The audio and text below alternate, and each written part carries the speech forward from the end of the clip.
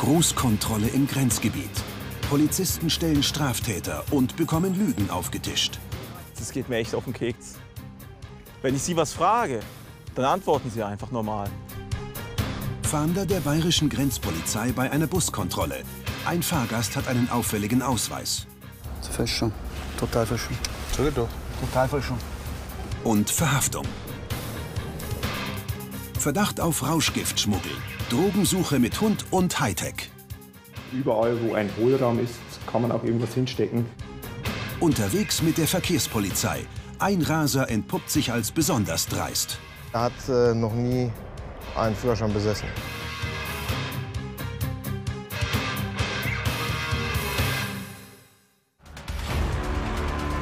Nahe der Grenze zur Schweiz hat die Bundespolizei eine Großkontrollstelle eingerichtet.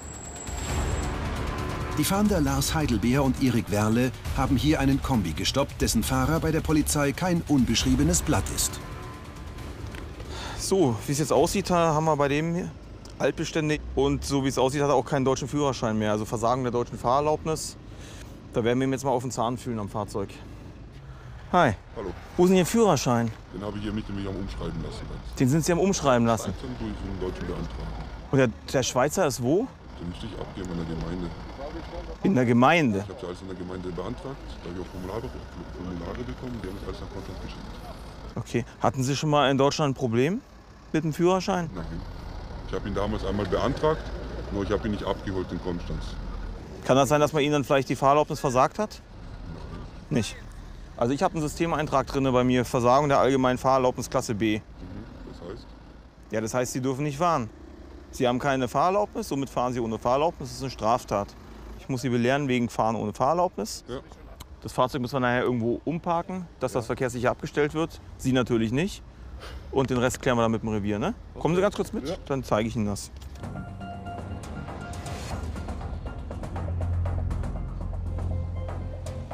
Alles was, Sie in, genau, alles, was Sie in den Taschen haben, gerade mal da ablegen.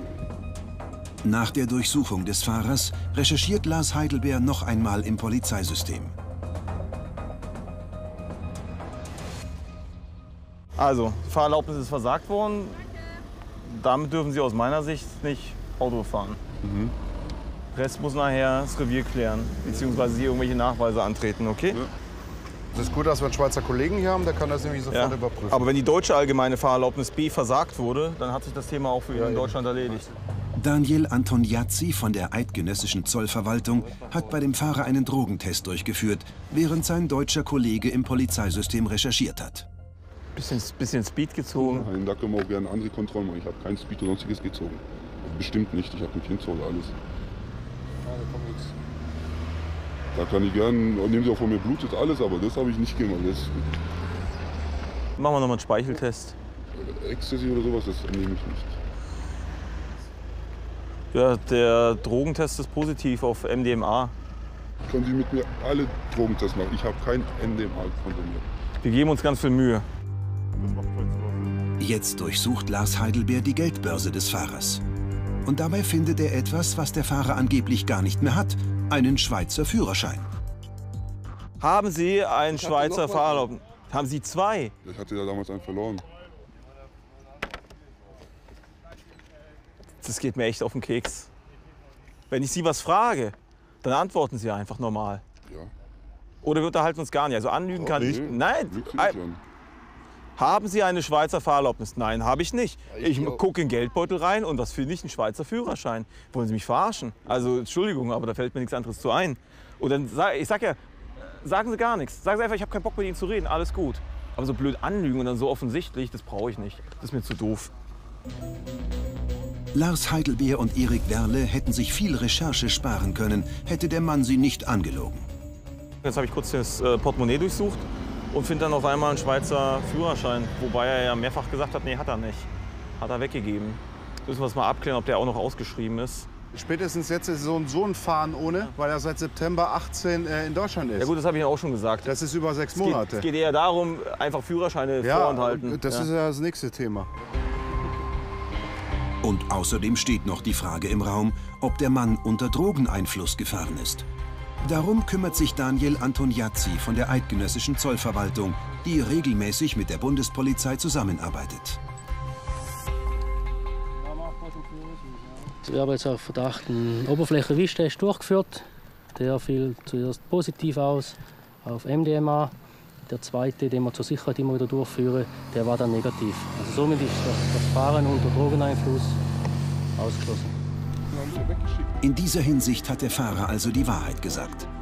Was die zwei Führerscheine des Mannes angeht, haben Lars Heidelbeer und Daniel Antoniazzi jetzt auch Klarheit. Das bedeutet im Endeffekt, dass er jetzt einen Führerschein, den er damals verloren hat, bei der deutschen Straßenverkehrsbehörde jetzt abgegeben hat und den anderen hat er einfach mal behalten, um mit ihm jetzt weiterzufahren.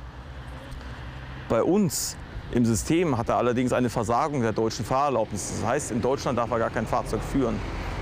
Und selbst wenn er ein Fahrzeug hätte führen dürfen, mit dem Schweizer Führerschein hätte er schon gar nicht mehr fahren dürfen, weil er seit, ich glaube, Anfang Dezember in Deutschland gemeldet ist. Sechs Monate hat er Zeit, diesen Führerschein umzuschreiben. Damit ist er sowieso ohne Fahrerlaubnis gefahren. Auf ihn wartet jetzt ein Strafverfahren wegen Fahren ohne Fahrerlaubnis.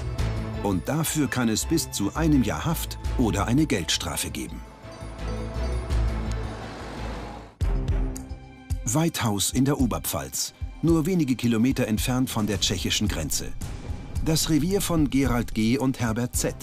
Die beiden sind Fahnder der bayerischen Grenzpolizei. Feststellungen haben wir hier eine äh, breite Palette von Betäubungsmitteln über Diebstahlsdelikte, Wohnungseinbrüche, auch Verkehrsdelikte, Drogenfahrten oder auch Alkohol. Sagen wir mal, das komplette Strafgesetzbuch eigentlich rauf und runter. Die günstigste Möglichkeit, von einem Land ins andere zu fahren, sind Billiglinienbusse. Kriminelle nutzen sie auch deswegen gerne, weil sie sich in einer größeren Menge von Passagieren sicherer fühlen vor der Polizei. Gerade deswegen halten die Fahnder diesen Bus an. So, guten Morgen, Polizeikontrolle, Passport, please. In diesem Bus Richtung Prag sitzen nur wenige Passagiere. Einer von ihnen fällt den Fahndern auf. Where you live? Where you live? I live Mhm. in uh, Paris. In Paris. Der Mann hat allerdings einen italienischen Ausweis. Und er ist nervös. Take my everything with you. We make a little, little control outside. Okay? Der italienische Personalausweis, den der Mann vorgezeigt hat, kommt den Fahndern verdächtig vor.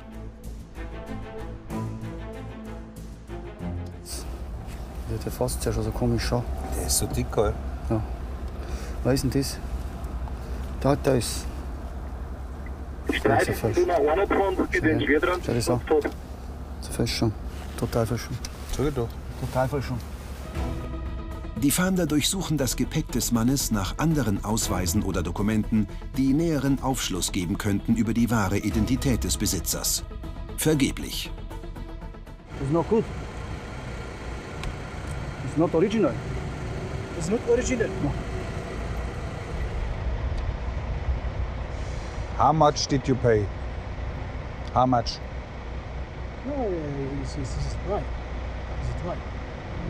Ein Laie hätte die Fälschung nicht als solche erkannt.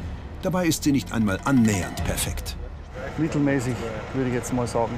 Also im ersten Blick so gut. Wenn man näher anschaut, dann muss man es eigentlich schon feststellen können. So, Äh, einer weniger. Unaus. Ciao, mach's gut. Der Bus kann seine Reise nach Prag fortsetzen. Natürlich ohne den Mann mit dem gefälschten Personalausweis. Die Fahnder wollen jetzt herausfinden, woher er stammt. No. Sagt er? Er sagt, er ist gar kein Italiener. So eine italienische ID-Card. Passport, original? Algier, Algier Passport. Huh? Algerisch. No, Do you have a passport from, from which country? Uh, uh, Algerian, Algerian. yes. Algerian. Yes. Where is your passport? Where? I have not passport. This is uh, for, for You put it over. Vielleicht hat er seinen alten Pass aber doch noch. Die Fahnder durchsuchen seine Kleidung, auch um sicherzugehen, dass er keine gefährlichen Gegenstände bei sich trägt. Hat er bestimmt einen Grund, warum er also eine Fälschung hat. Das eine ist einmal die illegale Einreise oder der illegale Aufenthalt, dass er eine äh, Identitätskarte fälscht. Das andere kann auch sein, dass vielleicht ein Haftbefehl vorliegt, der Strafvollstreckungshaftbefehl oder ein Untersuchungshaftbefehl. Es kann jetzt vieles sein und wir werden auf der Dienststelle dann überprüfen. Festnahme. Mit Handschellen gefesselt, kommt der Festgenommene auf die Rücksitzbank der Zivilstreife. Fahnder Herbert Z. setzt sich neben ihn. Nachdem dass wir jetzt hinten einen Gefangenen haben, wird der quasi hinten bewacht, damit er nicht vorlangen kann und irgendwas anstellen kann oder versuchen kann aus, auszubuchsen. Darum ist es aus Eigensicherungsgründen auch immer so, dass jemand hinten beim Gefangenen hockt. Und der ist natürlich gefesselt. Jetzt ist zu klären, ist der Mann ein illegaler Einwanderer oder ein gesuchter Krimineller? Baden-Württemberg, nahe der Schweiz. Die Bundespolizisten Erik Werle und Lars Heidelbeer bekämpfen hier die grenzüberschreitende Kriminalität. Ich hätte ganz gerne den Opel Zafira mit französischen Kennzeichen. Den Ja, wünsche ich mir von dir. Sehr gerne. Da vorne? Ja, wir sehen ihn. Der LKW wird jetzt abbiegen. Und somit haben wir freie Bahn. An dem Fahrzeug, das die beiden Fahnder jetzt verfolgen, ist ihnen etwas Ungewöhnliches aufgefallen. Och, das ist äh, französisches Kennzeichen. Da haben wir jetzt nicht ganz so viele. Sie sahen auch nicht unbedingt aus wie Touristen. Möchten wir mal reinschauen. Nach knapp zwei Minuten haben die Bundespolizisten den Wagen eingeholt und dirigieren ihn auf eine Nebenstraße. Machst du? Mit deinem Französisch? Kannst du? Ich kann kein Französisch. Guten Tag. Sie sprechen Deutsch? Ein bisschen. Okay, wir machen Kontrolle. Ich brauche bitte äh, Führerschein.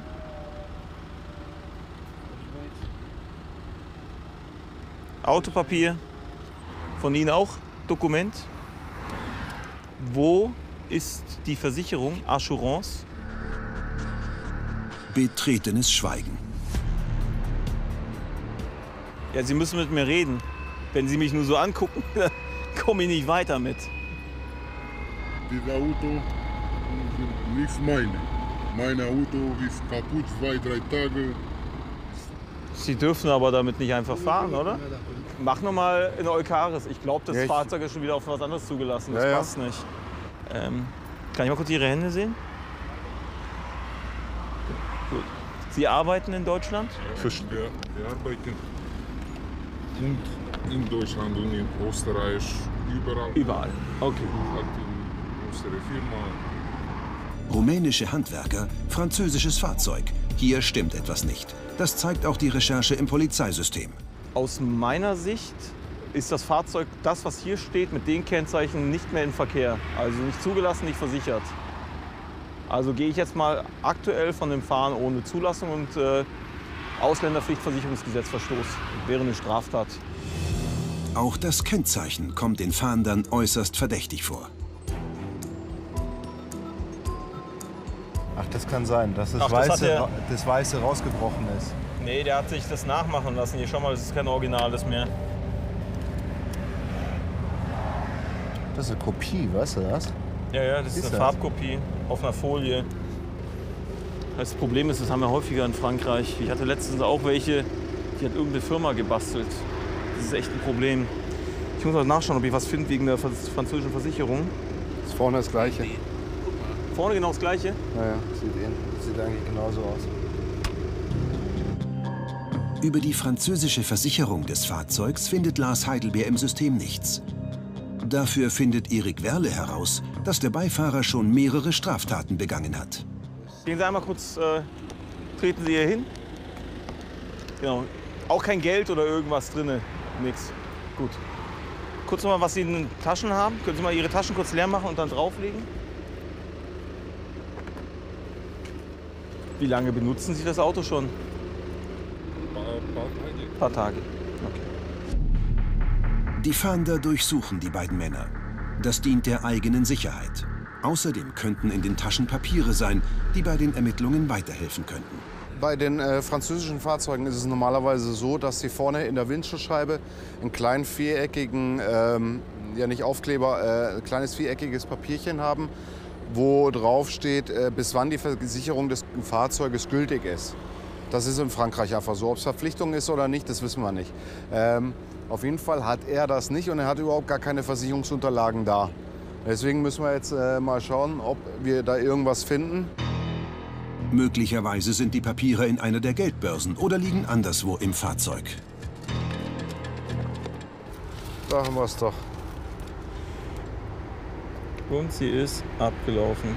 30, 12, 18. So, und damit können wir jetzt abfragen bei den Gut, Franzosen. Alles klar. Wir haben das bei den französischen Autos recht häufig, dass sie mit der Versicherung, die nehmen das nicht so, nicht so automatisiert, wie das bei uns läuft, sondern die läuft halt einfach für ein halbes Jahr oder für ein Jahr. Und wenn die abgelaufen ist, dann heißt das nicht zwangsläufig, dass sie sich eine neue holen. Fahren dann halt weiter. Problematik ist halt nur, wenn sie dann irgendwo einen Unfall bauen. Ne? Denn dann bleibt der Unfallgegner sehr wahrscheinlich auf seinen Reparaturkosten sitzen. Von den Folgekosten bei Personenschäden ganz zu schweigen. Also so sieht das jetzt aus. Das ist das, was ich gefunden habe. Und das ist eben dieses äh, äh, viereckige Ding, das dann vorne in die Windschutzscheibe eingelegt wird. Lars, äh, Also so wie es folgendes. aussieht, ja? Das hier ist für den Allerwertesten, weil das Fahrzeug äh, nicht mehr auf diesen Herrn gemäß Fahrzeugschein zugelassen ist. Also somit auch nicht auf diese Versicherung mehr zugelassen ist. Äh, der Kollege vom GZ Kehl geht jetzt noch mal ins französische System und schaut nach, wann das Fahrzeug äh, verkauft wurde. Nach jetzigem Stand nicht zugelassen, nicht versichert. Das heißt, inzwischen gab es einen Fahrzeughalterwechsel.